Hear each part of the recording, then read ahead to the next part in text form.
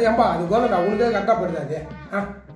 ஒரு மாதம் ரெண்டு மாதம் மூணு மாசமா நான் வீடு வீடு வீடுன்னு அழிஞ்சுன்னு இருக்கேன் சார் இதோ இந்த பாருங்க இந்த வாட்டி கண்டிப்பாக முடிஞ்சிடும் சார் இந்த வீடு. இல்லை சார் எனக்கு தோணுது எனக்கு.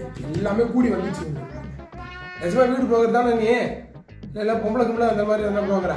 இல்லை சார் நீங்கள் கேட்ட மாதிரி ஜன்னல் அந்த வாசக்கால் தானே சார். எல்லாம் அதுக்கேற்ற மாதிரி பர்ஃபெக்டாக இருக்குது சார். முடிஞ்சிடும் இந்த வாட்டி முடிஞ்சிடும். என் புரோக்கர் காசை நான் வாங்காமல் போக மாட்டேன் சார் நான். இல்லைப்பா ரொம்ப வருத்தம் கொடுக்குறீங்க நீங்கள் நான் தான் சொல்லிட்டேன் உங்களுக்கு புரோக்கர் காசு கொடுத்துட்றேன் அப்படின்ட்டு. அதே மீறி இதே மாதிரி பண்ணியிருந்தேனா? சார் புரியுது சார் சார் உங்களை மாதிரிலாம் கோடியில் கொடுத்துட்டு தான் சார் இருப்பாங்க. குடும்பத்துக்கு எந்த தொல்லையும் கொடுக்கக்கூடாதுன்னு.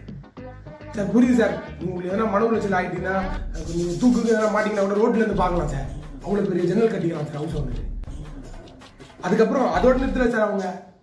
அங்கேருந்து அப்படியே உங்கள் பாடியை வெளியே எடுத்துன்னு வரதுக்கு ரொம்ப கஷ்டப்பட்டாங்கன்னா இப்படி வாசல் அதுக்கு ஏற்ற மாதிரி பெருசாக கட்டிக்கிறாங்க சார் ஆளும் அதுக்கு ஏற்ற மாதிரி இருக்கிறீங்களே டேய் காத்து வாங்குறதுக்கு ஜன்னலும் பீரோ தூக்கி போறதுக்கு வாசக்காலம் கேட்டா